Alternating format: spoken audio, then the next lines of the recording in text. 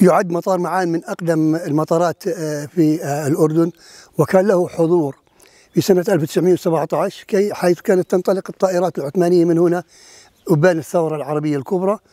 فعندما قدم الشريف آه، عبد الله بن حسين إلى معام سنة 1920 ركز على هذا المطار وفعل هذا المطار حيث حوله من مطار عسكري إلى مطار مدني حيث تأتي الطائرات من لبنان إلى معان وتنتقل وينقل السواح من قصر الملك عبد الله اللي هو فندق الآن بعيد على بعد أمتار من عندنا من هنا إلى إلى بيروت. ومن بيروت هنا. وفي سنة 1959 آه، استقبل الطلبة هنا في هذا المطار آه، جلالة الملك آه، المغفور له الحسين بن طلال مع شاه إيران رضا بهلوي وكان له حضور المطار بقي إلى السبعين. إلا أنه بعد هذه الفترة انتهى.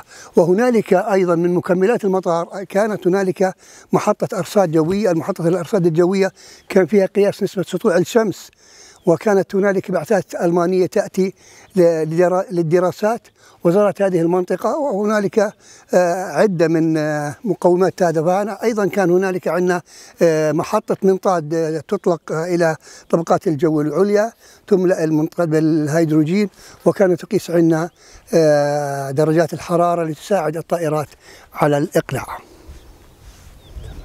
أشرح أقول هيك آه عادي أشر ونظرك على الكاميرا في نفس الوقت. الآن حدود المطار كبيرة. وإذا قرأنا على أرض الواقع الآن سنجد بأن هذا الجبل آه، من الجنوب يحد المطار. وهنا من الشرق أيضا على قرابة واحد كيلومتر. ومن هنا أيضا الغرب ما يقارب من ثلاثة كيلومتر. ومن جهة الشمال أيضا هنا آه، واحد كيلومتر. فكانت مساحة المطار كبيرة جدا. وكان له حضور منذ سنة 1917 وكان من أهم المطارات.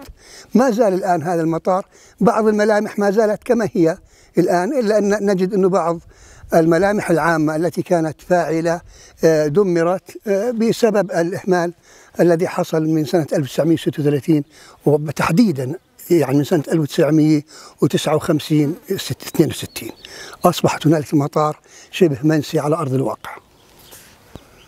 في سنة 1917 كان هنالك كادر عسكري من القوات التركية يدير هذا المطار وكان الكادر كبير لأن هنالك ما يقارب من عشر طائرات كانت تحط في هذا المطار وتنطلق منه آه كثيرا.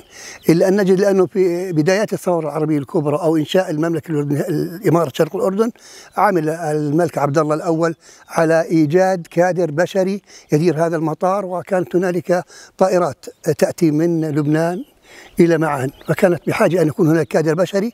عمل هذا الكادر على إدارة المطار بأحسن وجه.